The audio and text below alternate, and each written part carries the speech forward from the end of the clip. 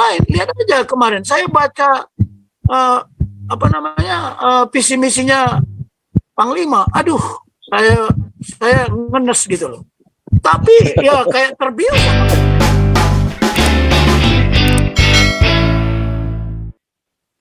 Jadi kita kan pernah belajar. Anda adalah apa yang Anda pikirkan. Sebenarnya bukan kita yang ketakutan, mereka yang ketakutan. Hmm. Iya, lihat aja. Apa kita yang ketakutan? Enggak lah. Dia, mereka-mereka itu yang ketakutan. Makanya mereka ciri-ciri orang ketakutan itu kan teriak-teriak. Wah, ini komunis bangkit lagi. Ini, ini. Ah, itu. Kalau orang yang cerdik, dia tidak akan begitu. Jadi kalau menurut saya, mereka yang fobia kan. Mereka yang punya rasa takut. Ya. Jangan sampai kemarin rebut Pancasila. Nanti katanya Pancasila akan uh, memukul kita. Kemarin kan sudah saya tayangkan semua itu.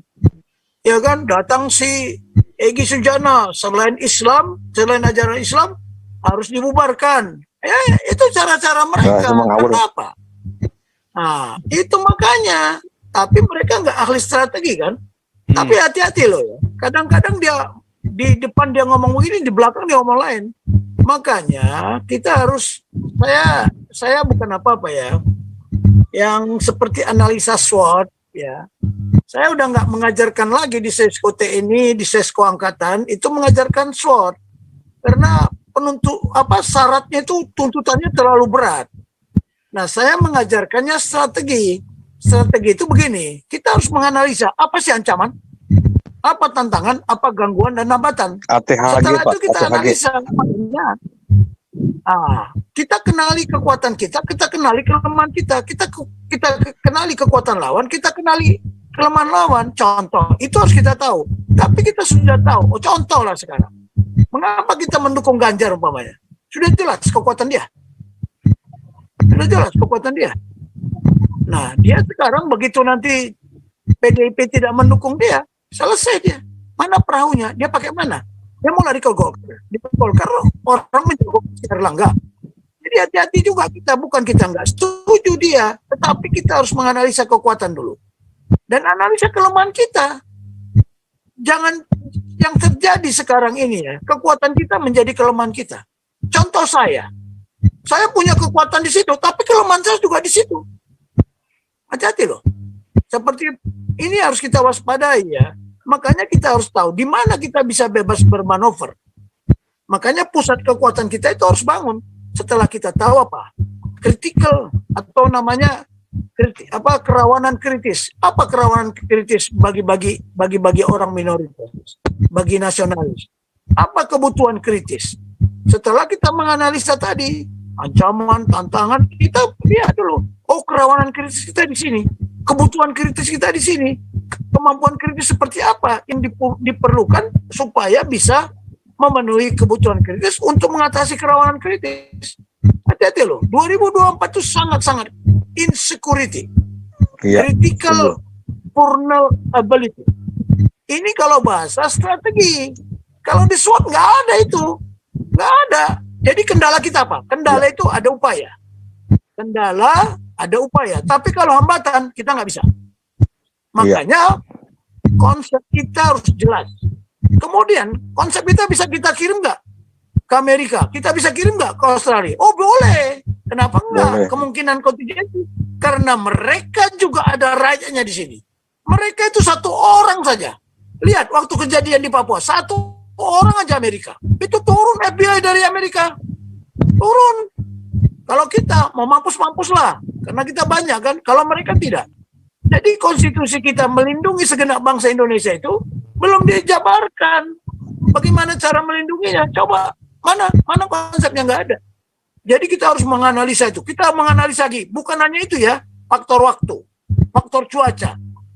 Nah beda kalau kita kampanye masalah nasionalis Pancasila atau Pancasila ya kita ideologi Pancasila satu-satunya ya satu-satunya ideologi bangsa Indonesia itu kita kampanye di di apa di daerah Batak sama di daerah Jawa Tengah Jawa Tengahnya beda lagi di Jawa di daerah Sunda beda caranya nggak bisa sama Nggak bisa sama. Nah sekarang siapa yang bertanggung jawab untuk menyampaikan ini?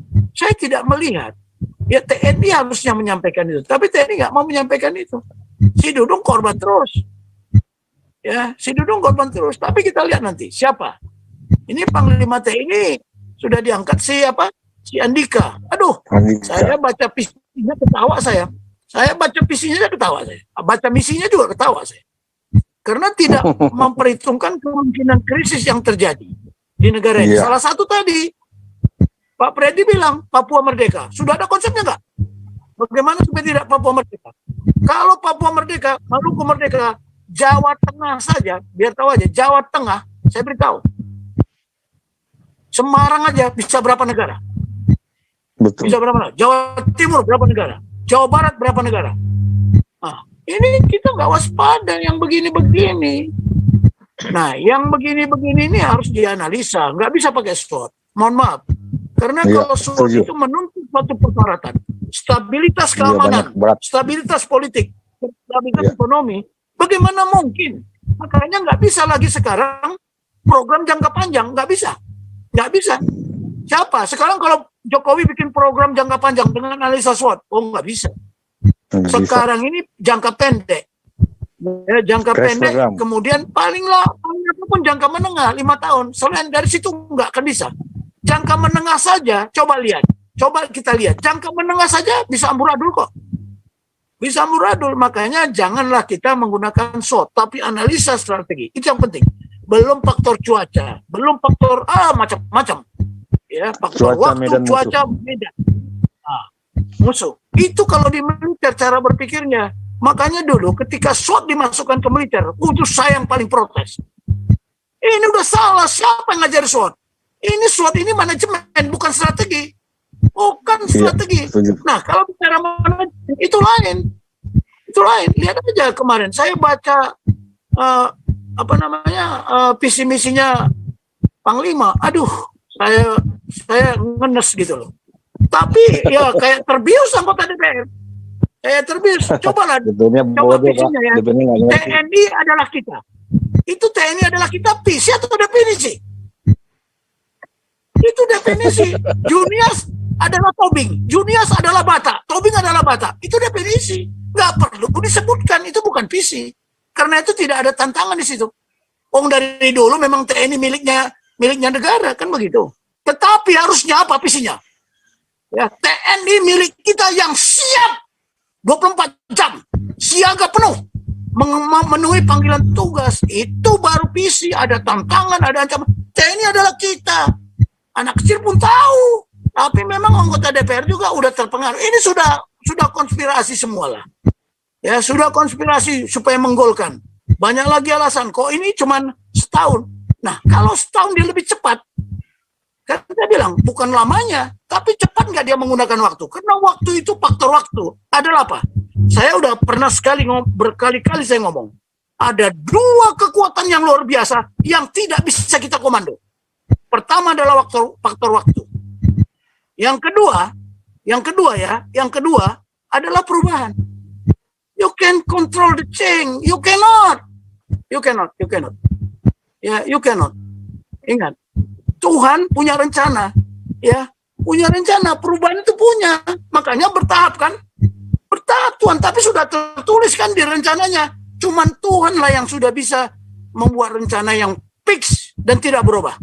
Yang lalu, yang sekarang, dan yang akan datang, itu udah jelas di dalam rencana Tuhan. Kalau manusia, you can do that, you can do that. Kita tidak bisa mengontrol waktu. Mundur. Nggak bisa. Jalan terus dia. Kemudian change. Eh, kamu jangan berubah. Oh, nggak bisa. Nggak bisa. Hati-hati ya. Ini ada dua kekuatan yang tidak bisa kita kendalikan. Yang tidak bisa kontrol. Tapi kita bisa apa? Kita adjust. Bagaimana kita mengejas? Ya makanya kita nggak boleh diam.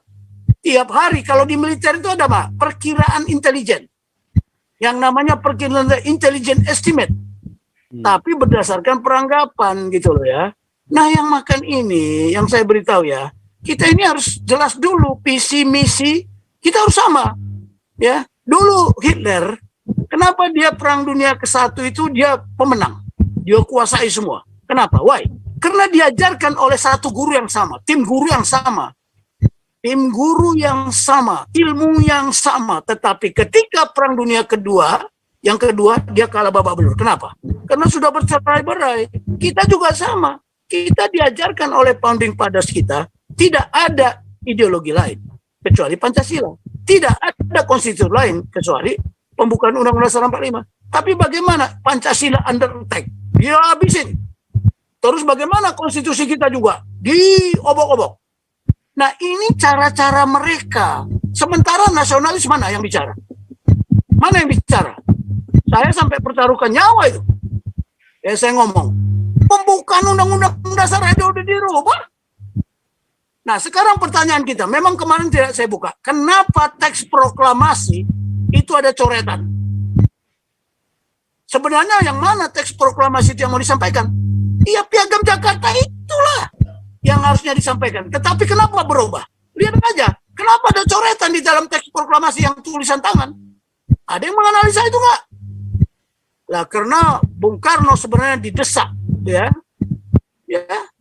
Jadi visinya TNI adalah kita. Wah, itu bukan visi. Pak Paul coba kalau kita baca ya, Paul, Pak Paul Jang adalah turunan Cina. Itu definisi atau apa? Bukan visi kan? Nah, ketawa itu jenderal-jenderal Amerika itu melihat, waduh, it's not the vision, Pak Tobing katanya. Vision itu menantang, beyond. Ya, visi itu impian yang mau kita capai. What will we become? Oh, kita mau jadi apa? Itu mau menjadi apa? Itu vision. Ya, vision. Nah kita lihat aja satu tahun ini apa yang bisa diperbuat. Saya kan menganalisa terus tidak tidak ada istilahnya jejak TNI ini nggak saya ikutin. Saya ikutin terus. Ini kok, aduh Garuda Steel itu tanya Amerika siapa yang menciptakan. Peacekeeping Center itu siapa yang inisiator? Tanya, tapi saya nggak pernah mau komentari lah. Ya tapi mereka nggak pernah. Kenapa? Nah di sini harus ada tanda kutip analisa lah mana yang benar.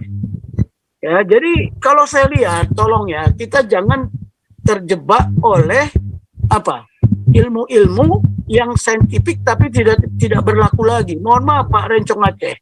Ya saya bukan apa-apa dari kemarin siapa lagi itu ada juga yang ngomong ngomong kita harus pakai SWOT. Itu ilmu lama, udah nggak laku karena ada perubahan-perubahan. Tapi kalau namanya strategi dari dulu sampai sekarang ilmunya tetap sama. Cuman apa? Kekuatannya yang berubah, teknologi senjatanya berubah, caranya sama, sasarannya sama, cuman caranya yang berbeda. Ada beda caranya. Dulu geopolitik itu adalah yang fisik. Saya kasih tahu ya, geopolitik itu adalah yang terlihat fisik. Ya, Indonesia di mana wilayahnya itu fisik. Tetapi sekarang geopolitik udah berubah apa geopolitiknya? Politiknya wilayahnya hati dan pikiran kita itulah. Makanya mereka dipengaruhi oleh apa? Oleh apa? Oleh kilapa. Karena apa? Terjadi perubahan di Turki. Siapa biangkeronya? Hati-hati ya. Ini si Endorgan kan sudah mau datang. Si Erdogan. Erdogan mau datang ke Indonesia kan? Apa? Maknanya dia datang? Apa? Coba aja kita lihat nanti. Nah yang begini-begini tolong perkembangan situasi day by day. Ya, kalau dulu saya pernah ke Jerman, ya, saya pernah ke Jerman. Dulu itu ancaman itu dianalisa apa? Second to second. Detik ke detik itu di garis perbatasan. Oh, sudah saya ke Jerman satu bulan Pak Paul. Ya di wilayah Dortmund dulu. Ya, sama ke wilayah yang itu kan sudah dibagi-bagi dulu wilayah Belanda, wilayah Inggris, wilayah apa. Tapi karena saya sekolah di Inggris, saya job trainingnya di Jerman. Nah itu saya melihat, waduh detik ke detik. Tapi setelah setelah terjadi perubahan ya sudah nggak ada lagi kan. Begini begini kita nggak paham. Nah harusnya gereja pun jangan sampai tembus. Pertahanan dia jangan sampai tembus. Nah dia sudah terpengaruh kan. Dibikin rasa takut, dibikin apa. Udah terpengaruh. Artinya apa? Mindsetnya. Makanya sekarang geopolitik udah berubah. Halo, geopolitik sudah berubah. Bukan seperti yang diajarkan dulu Geopolitik itu adalah Lebensraum. Ya, di mana orang mencari tempat hidup. Bagaimana supaya mereka bisa maju? Bagaimana? Makanya dulu ada kolonial, kolonialisme mencari di mana kalau saya menguasai jantung dunia, maka saya apa saya bisa mengejantung dunia, saya bisa menguasai dunia. Kalau saya bisa menguasai Pasifik, Pasifik Rim, nah saya bisa menguasai dunia. Itu kan geopolitik dulu, tetapi sekarang sudah nggak bisa. Jadi siapa yang bisa menguasai pikiran, nah itu dia yang menang. Nah sekarang kita coba, bagaimana nasionalisme ini, Pancasila ini, sama amanat konstitusi itu masuk ke otak mereka. Masuk ke otak mereka.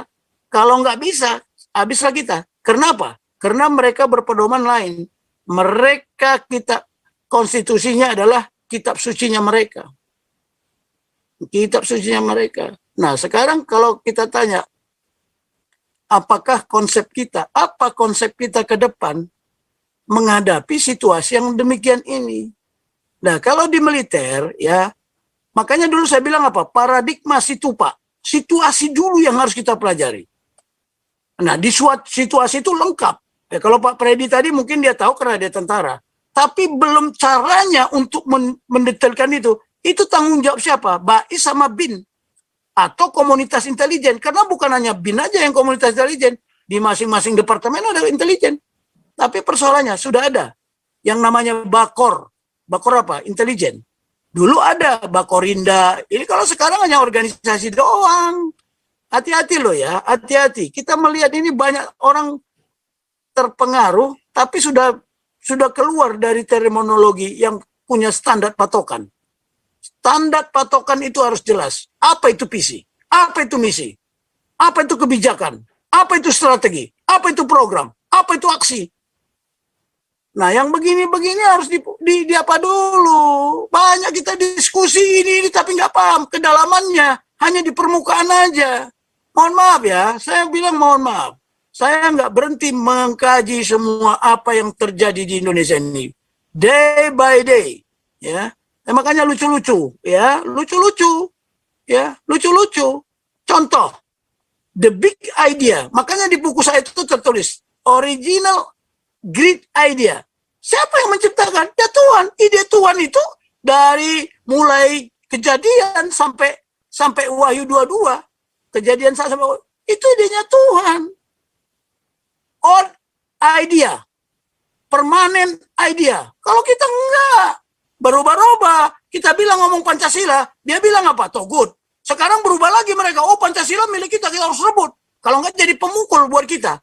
Nah ini kan aneh-aneh. Aneh-aneh. Hati-hati itu supaya merubah mindset. Nah cilakanya yang mayoritas, yang paling banyak, mindsetnya dirubah. Makanya saya bilang negara ini bukan milik mayoritas, Bumi ini bukan punya mayoritas, itu miliknya Tuhan. Emangnya manusia bisa, mayoritas bisa ciptakan bumi. Memperbaiki bumi aja nggak bisa yang udah dirusak. Nah, ini, jadi kita harus jelaskan itu.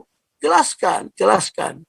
Ya, saya nggak mau ngomong masalah agama di sini. Nantilah kita ngomong masalah agama.